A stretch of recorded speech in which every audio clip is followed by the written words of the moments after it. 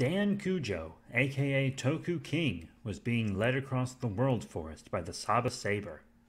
Saba had begun to sense another artifact a couple of days prior. He and Dan had been searching for it ever since. Are we getting close, Saba? I'm not sure.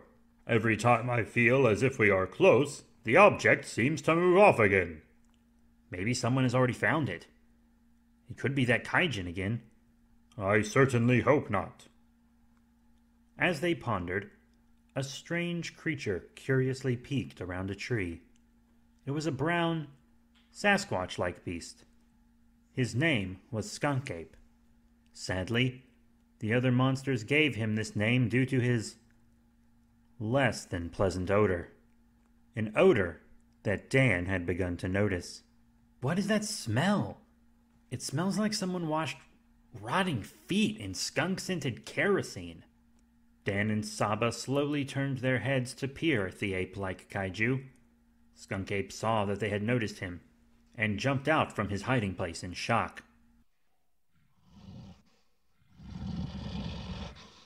A kaiju! I won't let it stop us from finding the relic. Toku change!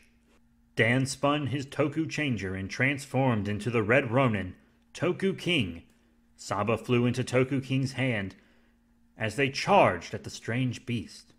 But as Toku King raised the Saba saber to strike Skunk Ape, something strange happened. The monster did not try to fight back. It didn't try to block. It didn't even try to run away. When Toku King raised Saba for the strike, all Skunk Ape did was cower. He was afraid. When Toku King saw this, he froze in place. What are you doing, Toku King? The creature is wide open! Before Toku King could answer, a blue blast of energy shot between Toku King and Skunk Ape, separating them.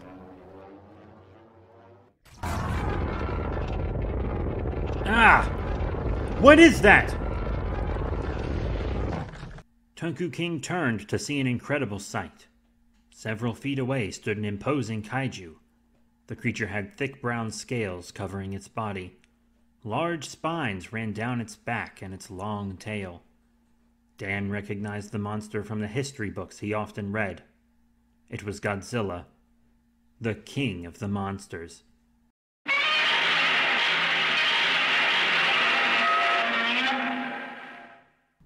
But this Godzilla was different than the one that ravaged the Japanese coast in days past. Over the centuries, kaiju had become smaller. With the world populated mostly by monsters, they had to evolve to a smaller size in order to fit on our small blue and green planet. This Godzilla stood at around seven feet tall, which still allowed him to look down on Toku King and Saba. Godzilla motioned for Skunk Ape to flee, and the ape like monster ran off into the forest. As soon as Skunk Ape was clear, Godzilla shot a blue fireball at our hero. Toku King slashed through the atomic orb to stop the attack. Godzilla charged Toku King and slammed him into a nearby rock. The rock cracked upon impact. Toku King used both his legs to kick the Monster King off of him. Saba fired lasers at Godzilla, but they had little effect. I'm going to try the drag saber. Toku King summoned the drag saber and brought it across Godzilla's chest. Flames sputtered from the blade as it made contact. The kaiju roared in pain. The Monster King brought one claw down onto the drag saber and brought his other claw across Toku King's masked face. Toku King fell to the ground and lost his grip on the drag saber. Godzilla kicked the sword away, but Saba flew back into Toku King's hands to replace it. Godzilla charged at the two of them, but Toku King seemed hesitant.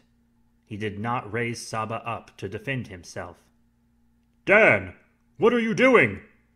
Toku King put both of his arms at his sides, and it seemed as if Godzilla was going to trample him.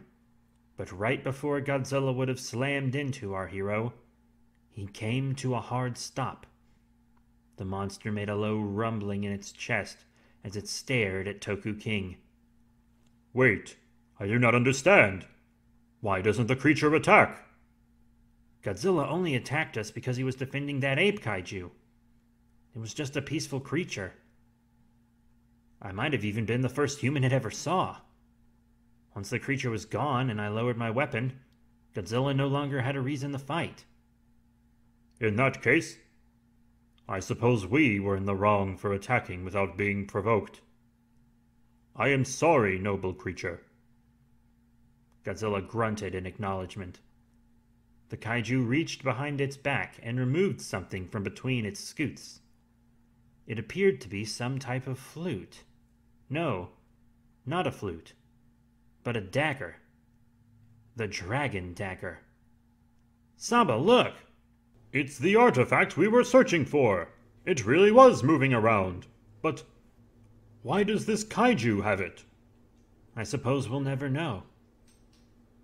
Godzilla held the dagger out in front of Toku King. It was as if the monster wanted him to have it.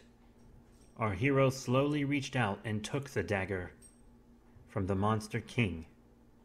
Godzilla nodded at Toku King and turned around to leave disappearing into the forest around them. Toku King was created by Paul Kelly Jr., starring Paul Kelly Jr., Samson West, and Jesse Booth. Edited by Paul Kelly Jr. Written by Paul Kelly Jr. Executive Producer Chris Winter. Music by Letterbox. Special thanks to Ian McNeil, Cameron Goen, Eddie Chang, and all our donors and listeners. Please follow the links in the podcast description to donate and support the show.